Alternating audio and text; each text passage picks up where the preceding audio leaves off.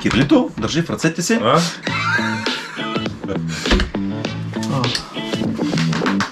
Може ли аз? Не, не, не, не, точно така. Не, не, не. Пушка. Пушка. Пушка. Пушка. Благодаря за внимание. Да, и ще ги пипим и ще пим после. Айде да си ходим вече. Къде? Ще си ходим.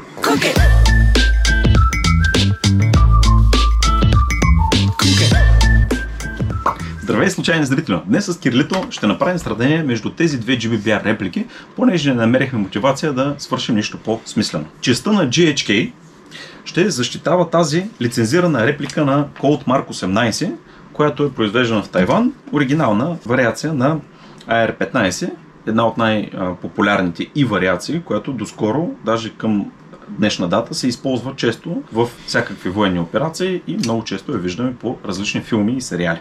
Какво държиш в ръцете си ти, Кирлито? Пушка.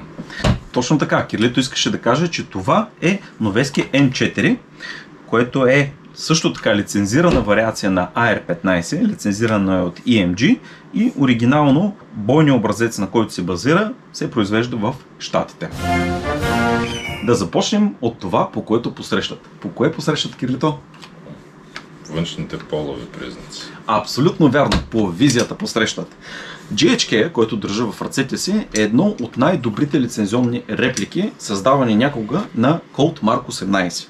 Благодарение на CyberGun имаме абсолютно правилните лога, шрифтове и разположения на надписи навсякъде по тялото, там къде трябва да бъде.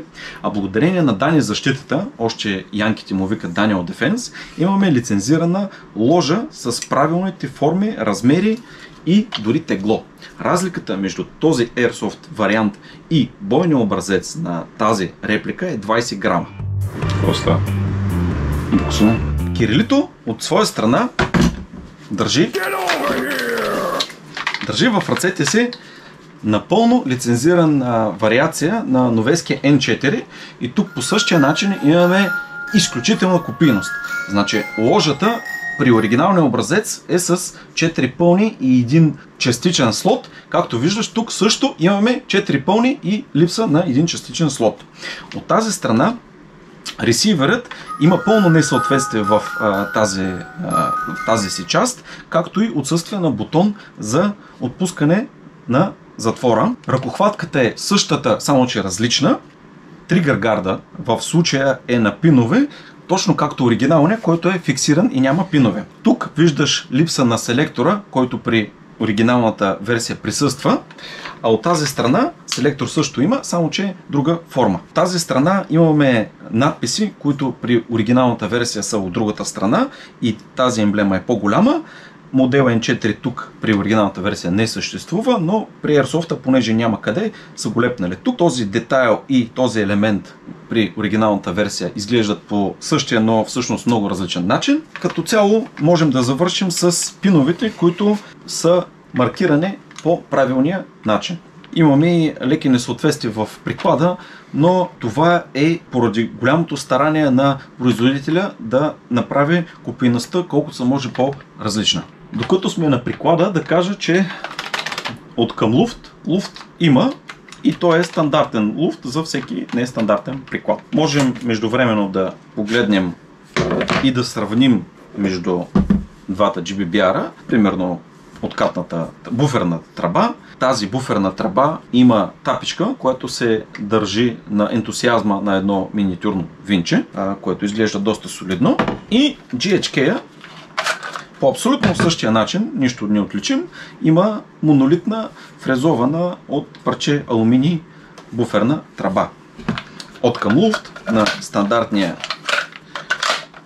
приклад бих казал, че тук имаме нестандартно малък луфт за стандартен приклад. Обидно, но за толкова с пари толкова. Пари няма, луфт има.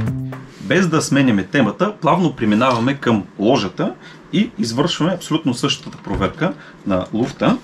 И както виждаш, GHK е солиден и няма абсолютно никакъв луфт нито в ложата, нито в цевта. До също както при новескето имаме интегрираната стабилност на варен пушен кремверш. Важна ремарка по отношение на теглото на Новески N4 е, че бойният образец, на който тя е базирана, тежи 3 кг без 15 грама. Това е сухото тегло. Докато репликата, която репликира много добре а, този параметр, тежи същите 2 кг и 70 грама. стигнахме до вътрешностите и а, отделяме горния ресивер от долния, за да наблюдаваме много интересна картина. Посоката, в която се отваря ресивъра на GHK е напълно противоположна на посоката, в която се затваря ресивъра на новескито. На какво ли се дължи това? Знаещите моля да коментират. И двете системи са реплики и са взети от системи, които са създадени от японци.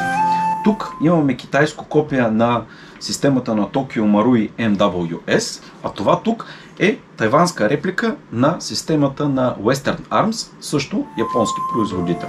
В квартала се водят разгорещени спорове, коя от двете системи на Tokyo Marui MWS или на Western Arms е по-надежна и по-добра и ние като едни експерти в областта А? ще кажем, че нямаме ни най-малка представа, защото всичко изглежда много сходно, много еднакво. Ето, например, тези два затвора. Този е на MWS. Той е многосъставен и излят предимно от сплави, магнезиеви или алуминиеви, с прилично количество дребни детайли. Ето пружинка тук, пружинка тук. Имаме пин с а, втулка, което с ролерче. И по абсолютно същия начин, ето този затвор на GHK, който е монолитен, излят от стомана, с единствена движеща се част нозала, който също е залепен. Той е двусъставен, но е залепен едно към друго, освен пиновите, които го държат. А, и има, например, а, подавач, който е два пъти и половина обема на подавача на MWS. Ето за сравнение, надявам се да се вижда.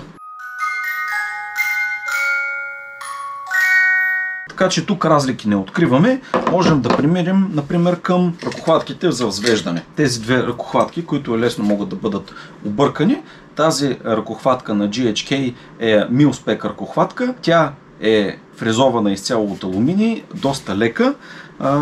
Точно по същия начин, както новескито, излята от някаква сплав с двойно теглото на тази на GHK, а, не е милспек и съответно, какво може да се каже повече за тази ръкохватка? Че има красиви надписи, които със сигурност увеличават а, нейната полезност. Защото, айде така.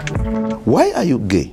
Ако продължим да разглеждаме вътрешните елементи на новеските и на- и на GHK, можем да видим двата напълно идентични буфера, които при новескито е пластмасов с допълнителна вградена пружина вътре, точно както и при GHK алуминиев с възможност за добавяне или отнемане на отежелител, който позволява ползването му с а, CO2 пълнители и без тях. И също така регулира и темпа на стрелба.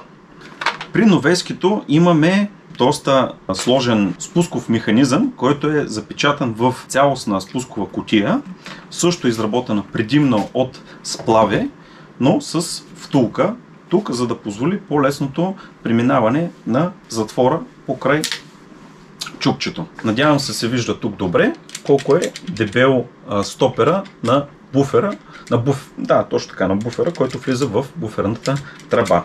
При GHK по абсолютно същия начин имаме изцяло стоманени елементи, детайли, с пълно отсъствие на втулка и лагерче, с много тънък милспек стопер на буферната тръба, ето тук, които са поставени в самото тяло на емката, както е при бойните образци, Котия. съответно без отделна котия. Относно самото затваряне на горния ресивер, след като бъде направено нужното обслужване, при новеске трябва да използваме помощта на някой тънък пръст или друг инструмент, защото затвора застъпва буфера в горната му част. И трябва леко да бъде натиснат буфера, за да избегнем щупване. Ето така. Много удобно. Изключително добре измислено. При GHK имаме същата работа. Затваряме и слагаме пина. Точно каквото би очаквал от сходна GBBR реплика. Относно самите ресивери, можем набързо да кажем, че при GHK има две вариации. Имат като цяло две вариации на ресиверите, които предлагат те. Те са лят ресивър, който е с изключително високо качество, много приятно усещане в всеки един ръб детайл елемент с липса на луфтове. Имат също така и ковани ресивъри, които след това са фризовани. Те са произведени по абсолютно същата технология, по която се произвеждат и ресиверите за бойните образци. Естествено, че са произведени така, че да не могат да бъдат използвани при бойни образци, специално за да няма ай-яй-яй. При новескито имаме даже по-напреднала технология. Сплавите, които са използвани там, не, не позволяват дори по-екстремна експлоатация, за да няма ай-яй-яй. Добре обяснено. Нали? Да, добре казвам. Ако някога си задава въпроса по какъв начин се извършва хоп-ап настройката на тези две GBBR-ки, често срещан въпрос, сега ще ти дадем отговор. Да видим при новескито как е реализирана тази задача. По замисъл, с отвеждане на затвора назад и заключването му, трябва да се бръкне и там има две колелца, с които по-точно едно ребристо колелце, което трябва да се настрои. Това обаче е реализу... реализуемо само за потребители до 6 годишна възраст. За хора с нормални пръстчета и малко по-дебели такива, трябва да се отдели горния ресивър, да се издърпа затвора с и по този начин, ето тук, това колелце да се навие на където трябва. При GHK също става с отвеждане на затвора назад, неговото заключване и използване на специално създадено ключе, което обаче изисква концентрацията и сръчността на нервен, на, нер, на мозъчен хирург. Който е нервен. Нервен мозъчен хирург. Ето, нещо стана там. Абе, хубаво е да го отпусна напред и, от тук вече въртиш и настройваш. Само, че толкова е лесно се огъва тая пластмаска, че малко трудно можеш да разбереш дали още я нагласваш да влиза или вече правиш настрой. Оп, влезна. Вече е влезнал. Да, се влезна и сега правя, извършвам нещо. Като цяло по този начин. Вика, у-у. По мои лични наблюдения, хоп гумичките и на двата модела, стандартните, не са кой знае колко добри, защото при ползване на леки топчета под 0,30 грама, траекторията им е по-непредвидима от местоименията на новоизлюпен джендър с дислексия. Що се касае до материалите, които се използват в телата, то при новескито имаме използване на леки и ефтини сплави навсякъде, където не се използват други материали. А това са тръбата на приклада, долния, горния ресивер, дъстковара, ложата, външната цев и ръкохватката. Стоманене са пламегасителя, пиновете, тази гайка, забравих как се казва, селекторите и болткетча и бутона за задържане на пълнителя. GHK са тръгнали по същата пътека, но в противоположна посока. Тук имаме използване на чисто алуминий, на повечето места фрезован, в тръбата, горния и долния ресивър, в ложата, стоманени в модела са пламегасителя, цевта, селекторите, пиновите, тъст ковъра също е стоманен, както и самия затвор, както вече споменахме, и мерника и мушката, които идват заедно с самата реп. Що се касае пълнителите, и двата модела пристигат с Gas пълнители. Този на GHK е с полимерна обвивка и имитира дизайна на Mac Pulp и. Теглото му празен е 366 грама. Ето това е празен пълнител на GHK. Това е GHK, който вече е пълен с топчета и газ. Той показва 15 грама газ. Този на Новеске, на Double Eagle варианта, е с някакъв особен дизайн, не знам дали съществуват реално такива, ако ти знаеш, кажи. Малко по-тежък е, 417 грама празен, само пълнен а, догоре с топчета е 428 грама. Ако го заредим, вече тежи 438 грама, което значи, че е поел 10 грама газ. С същия капацитет, зададено е като 35 топчета, с много напълне може да вкараш някое друго топче отгоре, но не е препоръчително, защото по-скоро може да щупиш нозела по този начин. Но оригиналните пълнители на Double Eagle имат а, известни проблеми с а, газ ефективността т.е. нямат най-доброто представяне. Това, което много често се ползва е PMAC копието за MWS системата на Guns Modify. На Guns Modify. Те са още по-леки и тежат празни 336 грама. Единственият проблем, който аз лично срещам при тях е невероятно трудното зареждане, въпреки че устните напълнителите на системата MWS позволяват използването на стандартните приставки, които идват с по-голямата част от спидлоудерите. Не съществуват CO2 пълнители за MWS системата, защото честно казвам налягането, което идва в CO2 бутилките, биха накарали вътрешностите на MWS системата само след един ден игра да се чувстват като действие на монахиня след двудневна BDSM вечеринка. Оргия. What the hell are you talking about? Същото не въжи за GHK, защото те си имат стандартно CO2 пълнители, които те сами ти ги предлагат. Могат да идват както в а, визуалната увивка на PMAC, така и металният CO2 пълнител, като той е най-тежкия 717 грама. Яка тухла. Така, опит за пълнене на PMAC на GHK, Green газов. Възможно е само с негова особена приставка, която идва заедно с самата реплика. Винаги първото топче е голям зор. Това се старая да го нанизвам ръчно. След това вече пълнето става доста по-лесно. Това му е максимум. Много е важно Green Gas пълнителите да се пълнят така, че да може да се натисне топчето да, да падне под нивото на устните. Това гарантира работоспособността на самата система и предотвратява щупване на нозала в частта на подавача. Така, сега ще пробваме да напълним оригиналния пълнител на Double Eagle с приставката, която си идва. Да видим. Тук работата е абсолютно същата. Ще пробваме първото топче да си го нанижим както трябва и след това да видим дали ще стане по-добре. А, бива. Не е толкова става. Айде едно топче ще махна, да не вземем да щупим нещо. Да, ето така трябва да е. По този начин е най-добре. Пробваме да напълним Guns Modify пълнителя. О, това е невъзможно. Ама ако не го изрежем, майка ми ще отпише от канала. Лоудъра се разпадна. За хронографиране ще използваме газ от Протек, защото опитите ни да бутилираме своя собствена завършиха само с тежки психологически травми и ужас в очите на местния проктолог. Топчетата, които ще използваме при замерката, са нашите любими 032 на BBS, които купихме един от друг на промоция. За самото замерване ще прибегнем към A-Stack с а, вградена функция за хронограф, любовно свързвана по Bluetooth с друг китайски телефон. Така, ще започнем тестването с оригиналния пълнител. Така, да видим на единична с горе-долу еднакъв темп.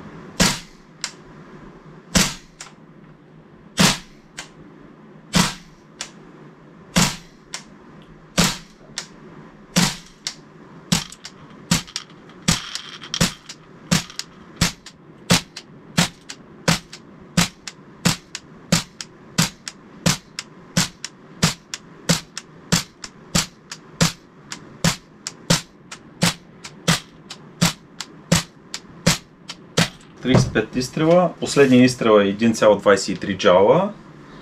Първият изстрел беше 1,80 джаула, което е доста сериозна разлика в силите. В силите. Силити. В силити. Why are you gay? Общо взето, при по-празни пълнители може да го играеш зелена реплика, като ги напълниш жълта реплика. Готино. Продължаваме. Втори пълнител.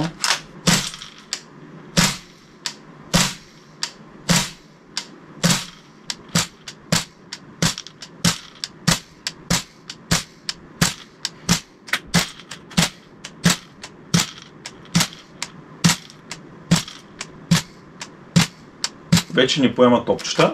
Топчета все още има, но гъста не е достатъчно, за да върне затвор достатъчно назад, че да зареди. Поред отчетенето направихме 56 изстрела, като последния на 0,8 джаула. Тоест разликата в силата от първия изстрел до последния изстрел е 1 джаул.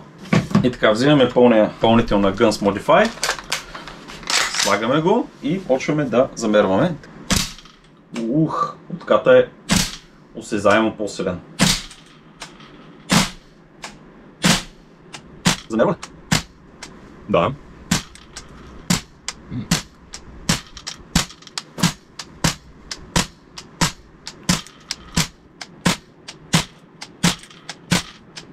Двадесет Добре, сега ще се опитам и пак да го напълним. Така, продължаваме.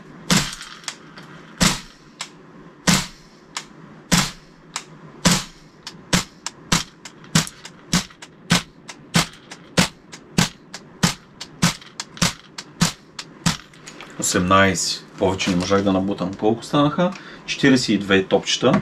До тук за 42 топчета, последното е на едно... А, първото е на 2 джала, последното на 1,4 джала.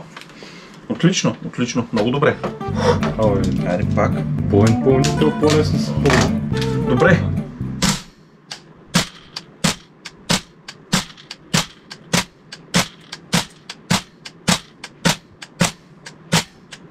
Петнайсет изстрел. Ла! Паднахме до 1,34 до 57 изстрел. Да видим колко ще можем да продължим.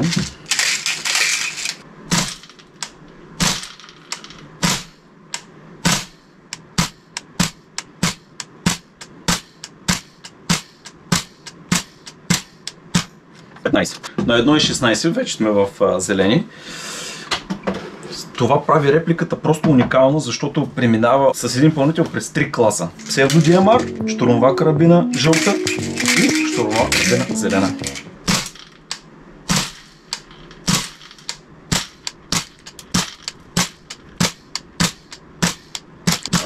Да, да, да. Почитай. О, закрича! Колко джала е изкарал последния? Последния 094.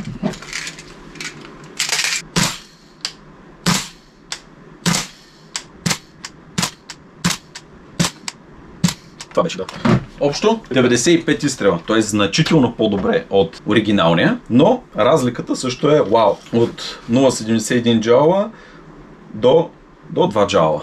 Ще продължим с тестването на GHK. Така, ще ползваме оригиналния Green Gas Mag на GHK, който побра към 15 грама Green Gas, ако правилно сме смятали.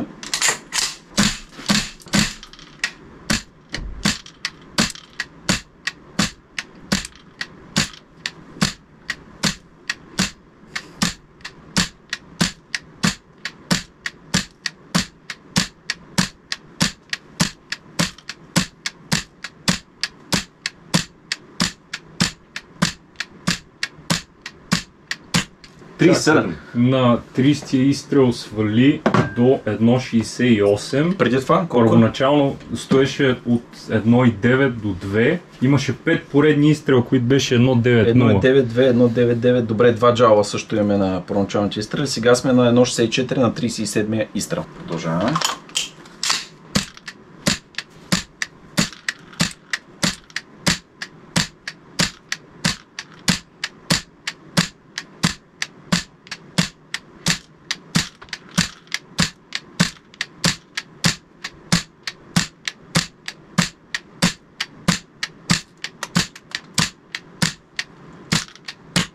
Пак 35. 1,46. 1,46. Добре. Всеки изстрел, всеки импулс от GHK се усеща като дългоочаквано освобождаване, а работата с пусъка не мога да я сравна с нищо друго, освен с а, галенето на, на пъпилата гръд на 18 годишна спортистка. За, за да бъда справедлив, а, при новескито а, е галене на същото тая гръд, само че 30 години по-късно.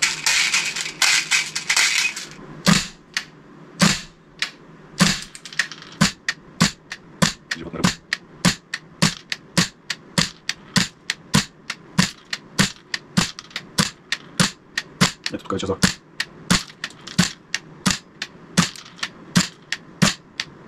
Това е, това е, няма. 100 изстрела на 93-я падна под зелена.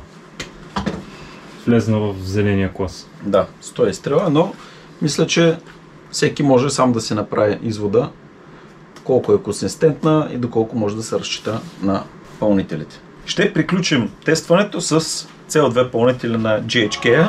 Той е вече пълен с а, 32. Ще инсталираме сега вътре една CO2 бутилка. Преди да продължим, само ще кажа, че изследвах вътрешностите на пълнителя от чисто любопитство и мога да кажа, че са много добре направени. Имат а, сходни разширителни камери, да не кажа сходна конструкция с Green Gas пълнителя, като разбира се, само стените, които държат самата CO2 капсула в този пълнител са стоманени. Останалото пак е излято. Но Добрата новина е, че тук има място в разширителната камера на този пълнител, има място за инсталиране на филтър, който е много важен детайл при CO2 пълнителите, защото това е от което те най-често страдат. Стружки, които нараняват леглото на изпускателния клапан, откъдето идват и, и издишанията. Дали при GBBR пълнители, дали при пълнителите за пистолети. Намирането на един такъв филтър би спестило много главоболие.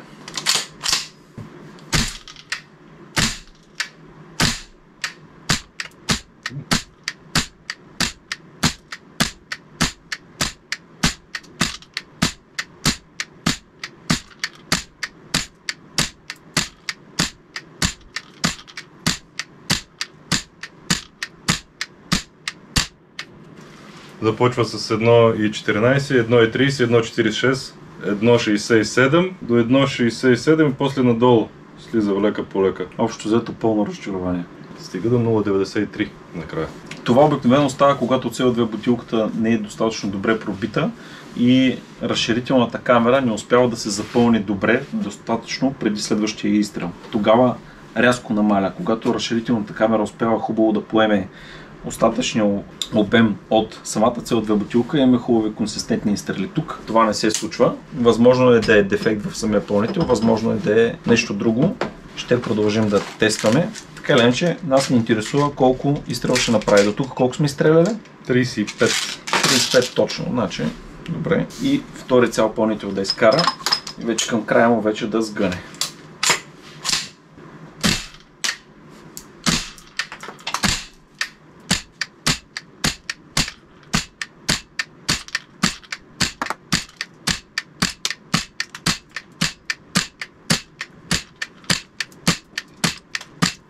Обичам работата.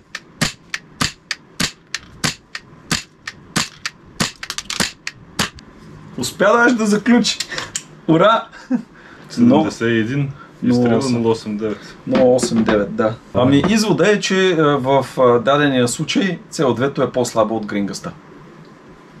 Why are you gay? Who says I'm gay? Като истински хора без работа, продължаваме с тестовете на станак тип CO2 пълнител, като от него, честно казано, очакваме дори по-лоши резултати, защото видяхме, че иглата сме успели да я посмачкаме и това, което води до непълно пробиване CO2 бутилка. Така изглежда непълно пробиване на CO2 бутилка. Ух, много добре. О, да, говорим. Сега ще намеря 18 плюс иконка за видео. С трети въздишки. Да, софтуер само над 18 годишни. Така че няма нужда от икон.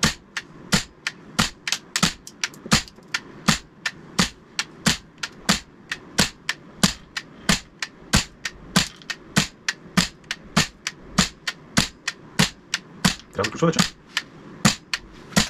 То не стела. И си. От 1,6 Да. до 1,2. Общо взето, извода е, че като паднат температурите, ще сигурно ще започва от 1,3, от 1,4. Димек ще е зелена реплика за през зимата, но не може да се очаква някаква много висока консистентност. О!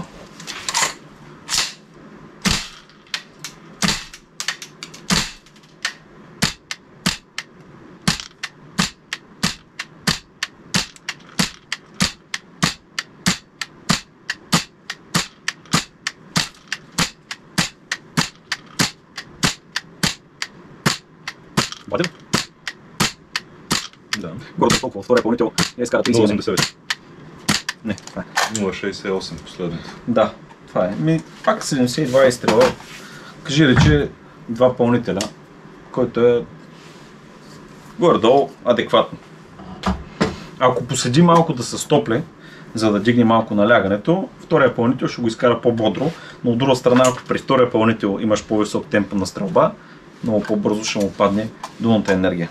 Това са резултатите. Надявам се да са ти дали някаква полезна информация. С това май приключваме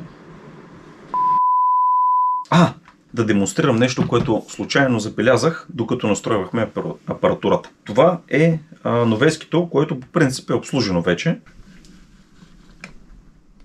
При внимателно отпускане назад е възможно да застане на една така половинчата позиция, което няма как да се случи по принцип при стрелба, при експлоатация, но за мен лично беше изненада, тъй като, както видяхме малко по-рано във видеото, той разполага с специални механизми, които предотвратяват засядането му и би трябвало да спомагат за по-лесното връщане. Да, справят с, предотвратяват това, но интересното е, че при опитите да направя същото нещо с GHK, с оригиналната буфер пружина, не ми се получава.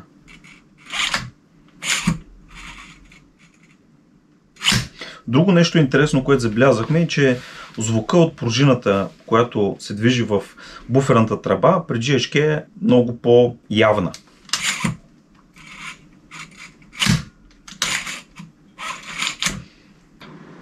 Благодаря за вниманието. Да, и ще ги пипим и ще пипнем после.